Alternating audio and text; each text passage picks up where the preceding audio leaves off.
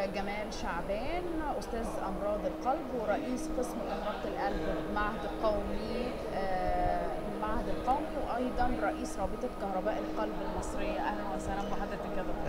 أهلا بحضرتك وأنا بتشرف وبسعد بلقائك آه، للعام الثاني على التوالي آه، في كارديو أليكس تي في هذا المؤتمر العالمي المميز.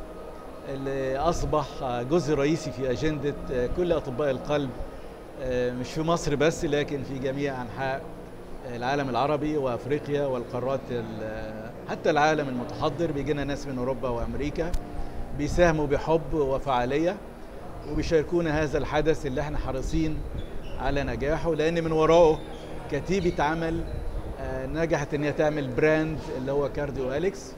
يعجبني في كارديو أليكس اللي هو الاستمرارية آه، وعدم النمطية. كل سنة بيتجدد وبيضيف بصمات جديدة وأقسام جديدة ومن خلف هذا العمل الضخم توجد آه، إدارة قوية حازمة على رأسها أيقونة طب القلب اسكندريه بروفيسور محمد صبحي اللي بوجه له كل التحية. وخاصة آه، السنة دي لأن هو آه، بيكرمني كواحد من الناس اللي عملوا innovation وتطوير في التعليم الطبي.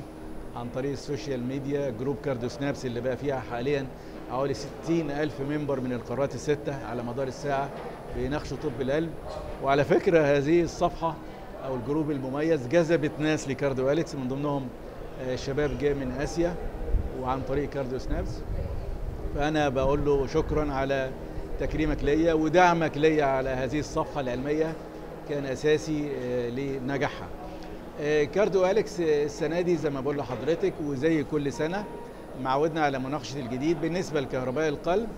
آه، يمكن التركيز الرئيسي بتاعنا على الذبذبة الأذينية atrial fibrillation هو يعتبر وباء القرن الواحد وعشرين.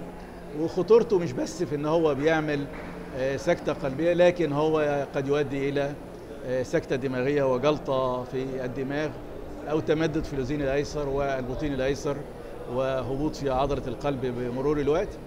أيضا اختلال كهرباء القلب آه، قد يكون نوع آه، خطير قاتل مميت آه، بطريقة فجائية وسكتة قلبية مفاجئة إذا حدث في البطين الأيسر. وخاصة ال ventricular tachycardia أو الضربات البطينية المتسارعة. ودي من مضاعفات ال- الشريان التاجي وضغط الدم والكوليسترول والسكر والتدخين. ودي حاجات بنقول للناس إن إحنا ممكن الوقاية منها. لازم تدور على أرقام الحيوية بتاعتك وخاصة بعد سن الأربعين تعرف ضغطك لأن الضغط ملوش أعراض. ممكن يبقى أول عرض للضغط يا إما جلطة في الشريان التاجي يا اختلال في كهرباء القلب وسكتة قلبية. أيضا السكر لازم تدور على السكر بتاعك وتضبطه في ال range الطبيعي لأن أيضا السكر آه، مرض صامت زي ما الضغط مرض صامت ليس له أعراض. وقد يكون العرض الأول لضغط الدم أو السكر أزمة قلبية. أو سكتة قلبية مفاجئه آه، أيضا الكوليسترول والدهون الثلاثية أصبحت يعني مشكلة كبيرة جدا والوزن الزيادة ودي حاجات ممكن تفاديها.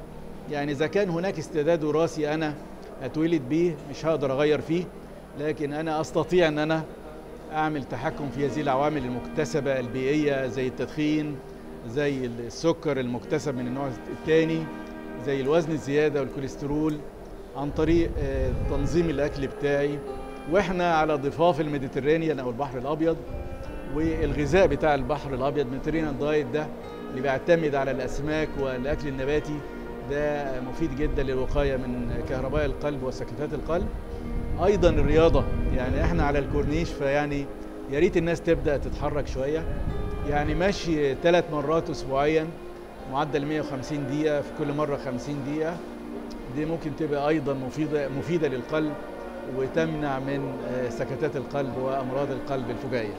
ميرسي جدا لحضرتك آه، شكرا لحضرتك يا فندم وتمنياتي ل Cardio Alex أن يستمر آه، منارة للعلم والتعليم مش بس في مصر لكن في جميع أنحاء العالم.